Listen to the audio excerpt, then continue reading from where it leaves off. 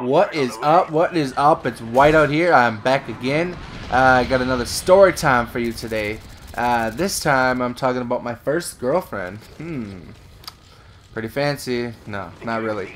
But anyways, uh, my first girlfriend. Uh, uh, when I was in high school, I uh, pretty much I didn't like my high school, so uh, from my hometown. So I, I waited for an open enrollment and I transferred to a different high school. Um, I am from a town called New London. It's it's in Wisconsin, and and it's not that big of a town, but it's not tiny either. Uh, other than that, I uh, transferred to a town, uh, high school in a town that's pretty much a lot smaller than my town. It's it's basically a little farm town, uh, a lot of farm girls and a lot of farm kids, um, out in the middle of nowhere, basically and I transferred to that school because all the kids and the uh, you know teachers and stuff in my school are pretty much pricks and assholes. I didn't like them at all. So anyway, I uh, waited for an open enrollment and I transferred to the this little high school in Manawa, Wisconsin, and uh, the reason I chose this school is that's where my nieces and nephews went. Uh, yes, my niece is basically almost the same age as me. Um, I know some some people think that's weird, but I, I don't I don't think it's weird. I've been that way all my life, so why should I think it's weird? Uh, but yeah, I transferred to that high school, and um, I met a lot of nice people because basically there are all around nice people there in that town. Um, and like I said, it's a little farm town. Basically, a lot of people keep to themselves. You know, there's a, your your uh, average once in a while high school gossip type deal that goes on here and there, but that's the same thing deal with any any high school. So, uh, yeah, I transferred there and I met this girl named Janessa Laus, and uh, basically, I know I was just hanging out with her and my niece once in a while. She's I I didn't mention that she was my niece's friend, uh, and uh, basically I would hang out with uh, my niece at lunchtime and stuff, and uh, that's how I met this girl. And basically she was uh, she was one of my niece's best friends and you know after a few times of hanging out with my niece at lunchtime and uh, in turn hanging out with this girl because she always hung out with my niece uh, we kind of hit it off. We started talking you know and then uh, about two weeks into uh, moving moving there two three weeks into moving uh, to that high school uh, I was dating my niece's best friend.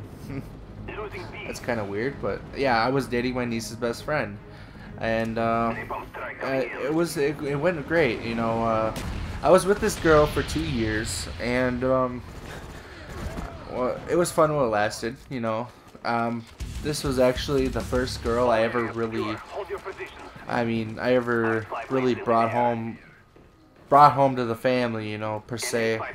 Considering my niece already knew her, she was part of the family, basically. Uh, but this is the first girl uh, that uh, actually did things with my family and uh, went places with my family. I mean, we took a trip to uh, to uh, Springfield, Illinois, and she came along on that trip as well. we went to pick up a puppy for my mom, and she went with on that trip, and basically that's that's where we got started hitting it off pretty much. And um, I don't know, she was a nice girl and everything, and there's one downside to it. Um, her family, she was not supposed to uh, be dating. Uh, thing was, her family, her their religion didn't allow it. Um, she really didn't take to her religion that much she didn't like it whatsoever. So she she you know she tried to uh, avoid it whenever she got the chance, and she kind of had a hard time with it. I mean, whenever whenever she wanted to come to my house, she pretty much told her parents that she was going to my niece's house uh, to you know hang out. And so sometimes it kind of got hard. But uh, about after about a year, basically they kind of found out she was dating somebody and they were they were kind of mad at first but they weren't the type of people that would i mean crucify her for it she was just you know teenage girl that just didn't want to abide by their by their religion rules um guess I should tell you guys what the religion was. Uh, they were Jehovah Witnesses. This is no fucking lie. They were fucking Jehovah Witnesses, people.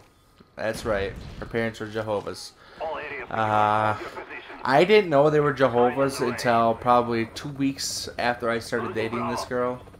But I, I stuck with it because she was a nice girl and uh, I enjoyed her company and she was she I mean she was a great girl and uh, there was uh, this actual this one time where she actually her parents wanted me to go to uh, their church with her and sit in on a Jehovah Witnesses uh, session, which was really really awkward for me. I mean, uh, really really awkward. it was not the kind of church I'm used to, and I don't think I would ever do it again. Um, but yeah, she she is a Jehovah Witness, and I dated her for about two years. Uh, we had a lot of fun. She was a nice girl. Um, no, I did not lose my virginity to her. I lost my virginity before that. I'm not even. That's a whole nother story. That's a whole nother story time with Whiteout.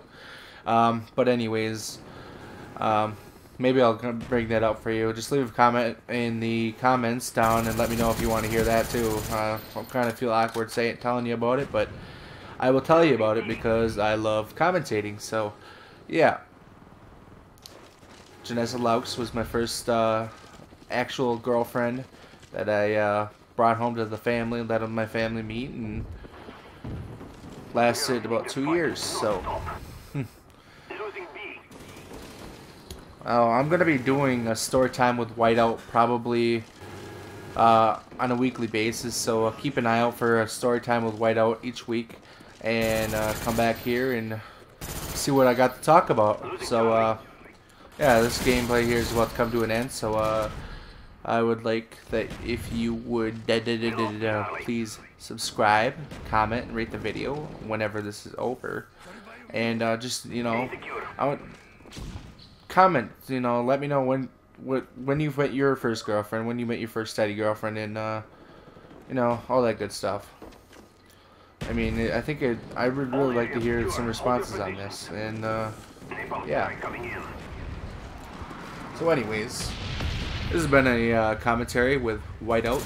So uh, please subscribe, comment, rate, and let me know what you think. Alright guys? Peace out. Ha ha ha ha ha. Nice.